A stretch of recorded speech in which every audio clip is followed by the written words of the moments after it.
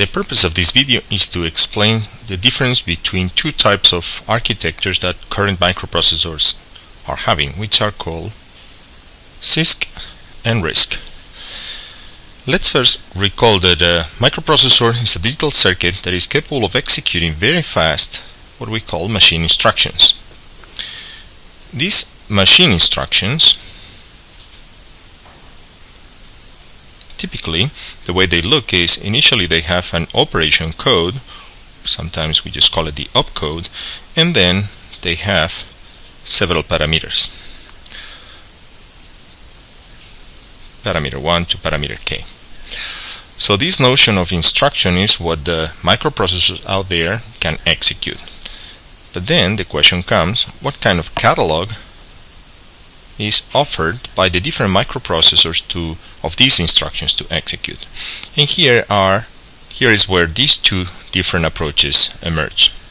The first approach, the CISC or CISC, is the acronym for Complex Instruction Set Computer. And the name is self-explanatory. The microprocessors with a CISC architecture offer the, capa the capacity to execute a fairly rich set of instructions, each of one is also capable of implementing sophisticated operations. Let's get an example. This is taken from a real microprocessor. Let's take a look at this machine instruction. Add dollar $4, comma 14 parentheses percentage a EAX comma percentage EBX comma 8 as we can see this instruction follows the pattern we just described up there the operation code in this case is add.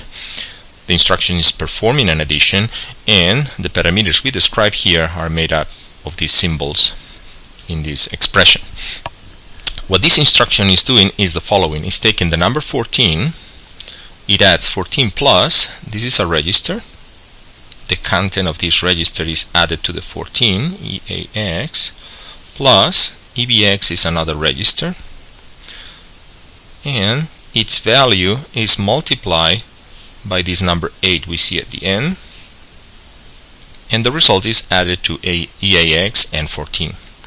The result of this operation is a memory address. And the overall instruction is adding the number 4 to the data stored on this memory address. So again, as we can see, the microprocessor capable of executing this instruction has to perform several arithmetic operations one addition, another addition, a multiplication, and another addition, plus an access to memory, first to obtain the operand, because we are adding the number 4 to whatever is stored in memory, so we first have to go to memory, get the operand, perform this addition, and then deposit the result again in memory. So from the point of view of a microprocessor, this is considered a complex machine instruction although there is no written rule about what it constitutes a complex or a simple machine instruction, the guideline here is that as you can see there are several arithmetic operations that are involved in its execution. So typically the microprocessors that have a CISC architecture, they provide a large number or a very rich catalog of instructions and some of them can do sophisticated operations like this one. Now, large number of instructions means that it takes longer to execute. These type of instructions, as you can see, they have to perform several arithmetic operations. They have to go to memory, come back. So in this example, we can see that it takes a little bit longer than another instruction that might perform some much more uh, simplified uh, operation. Now examples of architectures of this type. There are some of them that are recent, some other that are not so recent. For example, IBM had a system um, called System 360 that used microprocessors of type CISC, but perhaps the most famous one is the architecture of the personal computer back in the 70s, which was called x86. Uh, then it evolved into another architecture which was called IA32, which is where this example is taken from. And this uh, architecture evolved into something else called AMD 64 or x86 64 or some other names. So these are just some examples just to show that these microprocessors are being used today.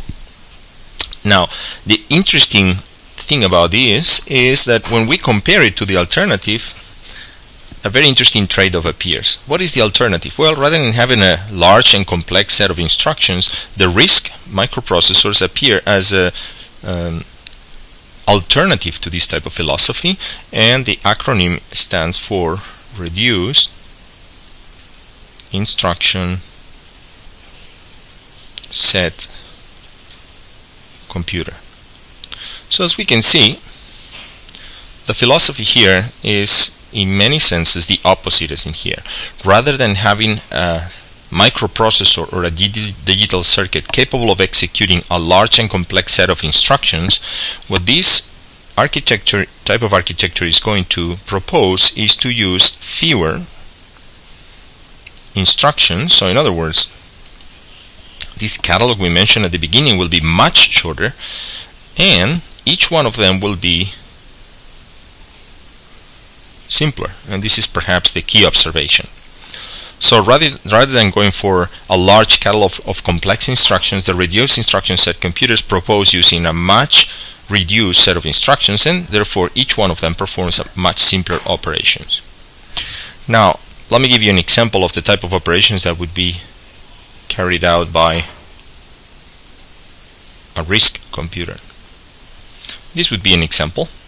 As in the case of a CISC computer we saw here, this is also performing an addition, but rather than adding a number to a location in memory, this operation is only adding the content of register R7, this is what we mean by R7 here, to the content of register in R5. Or another way of specifying that would be R5 takes the value of R5 plus R7. So in this example we already see the difference between the two philosophies. Here we have convoluted and sophisticated operations that do fairly interesting things, whereas in here we have very simple operations. It is as if in this architecture what we want is to take very small steps when carrying out a computation. Now, as I said before, the interesting thing about these two architectures is appears when we compare them to each other. So, if I want to carry out, let's just say, a, a generic complex task in this microprocessor, well, chances are I need to write, of course, a sequence of instructions, right? These instructions would be written here, and these instructions would have certain this sequence would have certain size. If I'm using complex operations that can perform sophisticated calculations, it is very likely that this sequence will have a size, or the number of instructions required is smaller, much smaller, than the number of instructions or the size of the sequence that I need to perform exactly the same task in the RISC architecture. I will have again instructions, but the size here is probably much longer. And the rationale is very intuitive. I can pack many more steps in one single instruction here, therefore my sequence of instructions is smaller. Whereas in here, if I take very small steps, I probably need much, many more iterate, or uh, many more instructions to implement exactly the same task. However, even though we might think that this is worse because we're using many more instructions, there is also another interesting trade-off. If my instructions are simpler, they are also fast to execute. Why? Well, because the type of uh, operations that we're doing here is very simple. Whereas in here, instructions in general take longer to execute. Why? Because it's a matter of packaging, right? Here we're doing several um, operations in just one instruction, whereas in here we need to execute several instructions to carry out perhaps the same calculation as in here. So here we have the trade-off and there is no clear winner. The two architectures are not comparable or not at the point of counting the number of instructions that are required. We will always get more instructions in the RISC world than in the CISC world. But there is another interesting trade-off. These instructions being simpler, they are also very fast to decode. And by decode, what we mean is that the microprocessor will have a much simpler task to detect what kind of instruction has been received in order to execute it, for two reasons. The first one is because we have a reduced set, and the other one is because these instructions are simpler, so we decode them very fast. Whereas in here, probably we need some sophisticated decoding. So again, we can see the, clearly the trade-off. In principle, the circuit here is simpler to design. Whereas in here, these microprocessors tend to be more complex because they have to deal with a much more complex type of execution. But as I said before, there is not a clear winner between one philosophy and the other, and today the two philosophies coexist. There is one little uh, additional category that is worth mentioning, which is orthogonal to CISC and RISC architectures, which is the definition of or the classification of the microprocessor depending on the size of their instructions. We have two different types of microprocessors, those that have fixed format for their instructions or length and those that have variable length for their instructions. And as you can see, a RISC computer is much more likely to be close to this philosophy because if I have my instructions being very simple and all of them having a, small number of operands, it is very likely that all of them, or most of them, not all, if not all, will be encoded with a fixed format. Whereas in the CISC philosophy, since I have so many instructions and some of them are so complex, it is very likely that I have a wide variety of operands and that will force me to encode these instructions with variable length. So even though there is again not a written rule that tells you that every RISC computer has fixed format instructions and CISC computer has a variable length instruction, this other classification based on the length of the instruction is also a feature that uh, distinguishes microprocessors from each other and in some cases they go hand in hand with RISC and CISC. Let me finish just by give some examples of the typical RISC architectures that we have now and some of them would be for example the very well known MIPS more recent one is ARM and an interesting one as well is the AVR by Atmel